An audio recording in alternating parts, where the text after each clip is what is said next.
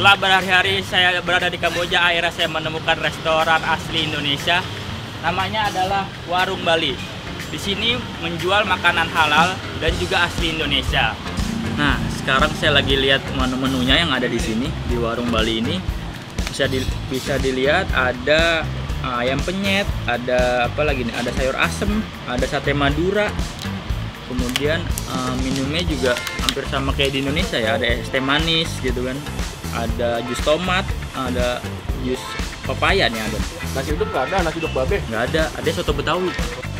Halo Pak, nih yang rekomendasi di tempat ini apa nih Pak? Di warung ada, Bali. ada ayam bubu Bali, ada rendang daging, ada sate ayam, terus ada ayam betutu, ada ayam cabai hijau. Ya untuk makanan ke Indonesia Kambojanya ada juga loklak yaitu semacam tumis daging, terus ada amok fish itu semacam eh, kari ikan, terus ada tom, eh, tom yam tum sama som lemecu. Paling saya pesen ayam bumbu Bali Ayam bubu Bali satu, sama sate ayam Madura kali ya. sate ayam boleh. Kalau minumnya? minumnya ada ada sirsak, ada panir, eh, nanas, ada apel, ada mangga, Tadi ada teh tarik ya? ada teh tarik, Nah, itu teh tarik. teh tarik. Oke ya? Boleh. Oke, sip.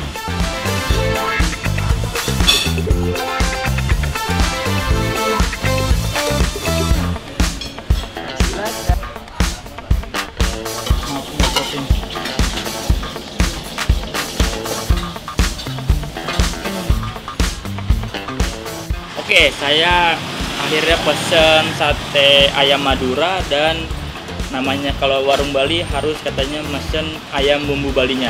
Di Kamboja tuh makanannya hambar dan kadang nggak ada pedesnya makanya ini pertama kali saya makan ada cabai-cabainya nih.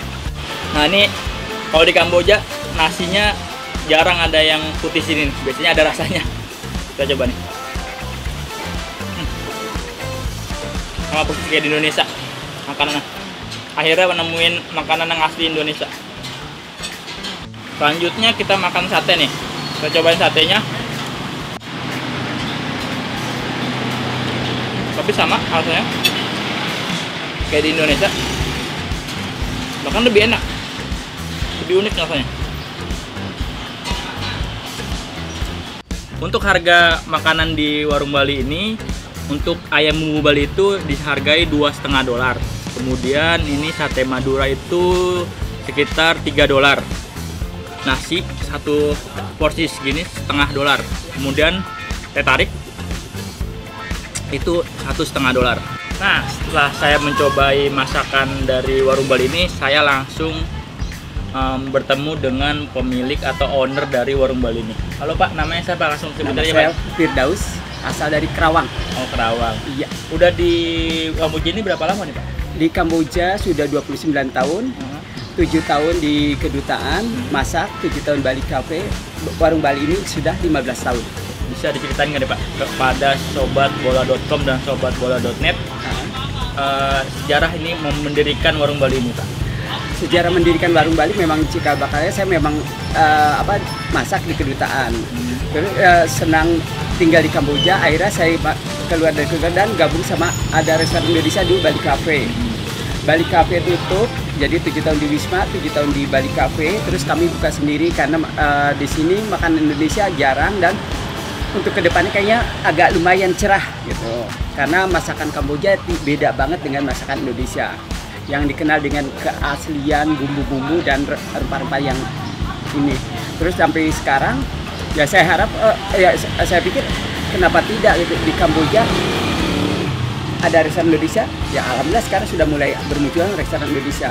Tapi ya ini berarti warung Bali sudah 15 tahun di Kamboja sini. Yang beli itu hanya orang Indonesia kah? Atau warga Kamboja atau warga atus asing datang se- Pak? sebelum COVID terjadi itu 75% kami pelanggan orang-orang bule. Hmm. dan bukan mereka yang pernah datang ke Indonesia. Tapi di sini dikenal dengan keaslian bumbu Indonesianya karena berbeda dengan masakan lokal di sini. Terus eh, orang masyarakat Indonesia, Malaysia da- dan se- sekitarnya bahkan dari terakhir akhir ini banyak orang-orang Kamboja yang tadinya tidak mau mengenal masakan orang asing tapi sekarang alhamdulillah beliau eh, mereka udah mulai datang untuk menikmati masakan Indonesia ini. Nah, untuk warga Indonesia yang mau datang ke Kamboja, eh, datangnya ke mana ya Pak untuk menemukan warung Bali ini? Oh, warung Bali ini bo- dipersilakan datang ke jalan 12, eh, 178 178 nomor 25 EO di samping Istana Raja. Oh, Saraja. Alhamdulillahirrahmanirrahim. Uh, setelah tadi saya makan sate ayam Madura dan ayam bumbu Bali, akhirnya saya kenyang juga. Nih, sampai dibawa ini sama yang punya nih. Oke, sekian uh, vlog kali ini. Eh, jangan lupa update terus eh, berita-berita uh, dua dari SEA Games 2023 Kamboja hanya di bola.com dan bola.net. See you.